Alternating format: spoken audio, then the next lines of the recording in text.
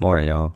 China's military rise is accelerating because its political system is built to move fast while the United States remains divided and slow to adapt.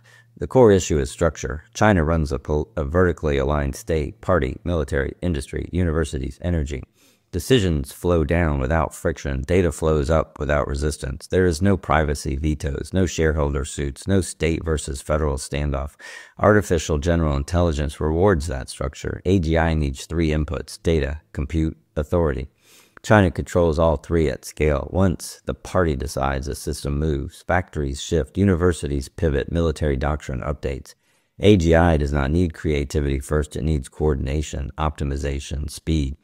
Authoritarian systems reward obedience. AGI rewards obedience. That fit is structural, not ideological. Hypersonic missiles expose the danger. Speeds above Mach 5, collapse time, detection windows shrink, decision cycles compress. Traditional defense assumes a chain. Detect, track, decide, intercept hypersonic, break that chain. They maneuver in flight. They fly below radar horizons. They evade prediction at terminal phase. The result is fewer warning minutes, less human judgment, more automation. That pushes states toward launch on warning, toward pre-delegation, toward machine speed escalation. Hypersonics are not just weapons, they're crisis accelerants.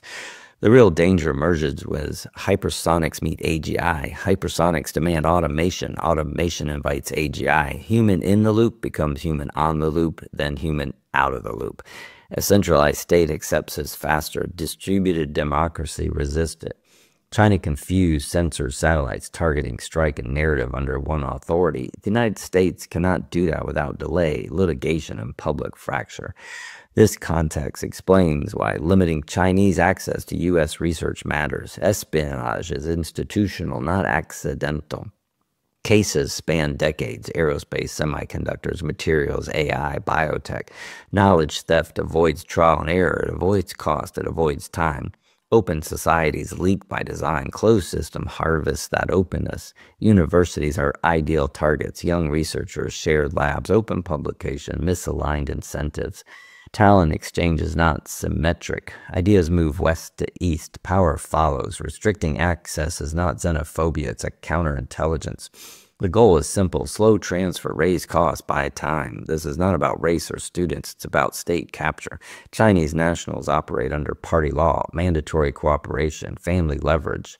That is a structural fact, not a moral judgment. No student can opt, opt out. The broader comparison to, is stark. China pairs centralized authority, industrial scale, AGI readiness, and hypersonic delivery. The United States pairs fragmented government, litigation, open research, and slow production.